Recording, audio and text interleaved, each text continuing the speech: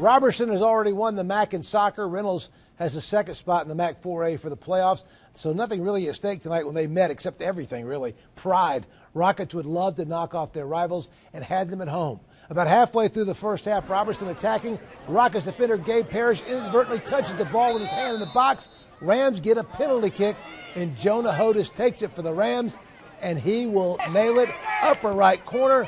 Just like that, one nothing Roberson. Moments later, Reynolds on the move. Check out Hector Gutierrez has the ball, and look at the moves here. He'll fire, but what a save by Kevin Rash. Wow. And then the rebound comes out just a hair high, still 1 nothing. But right before the half a minute left, Reynolds on the throw in, ball in front of the goal. Check out Gutierrez. What a shot, little flick there. One to one, high game.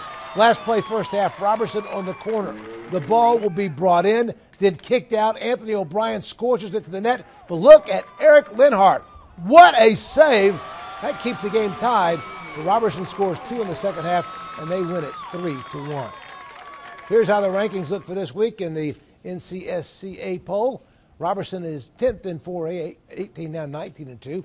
East Henderson is 7th in 3A. In 2A, Owen still remains number one. They've only had one loss on the year. And in 1A, Thomas Jefferson is number six. In the private school poll, you have Christ School at number seven in 3A and Asheville Christian Academy number seven in 2A.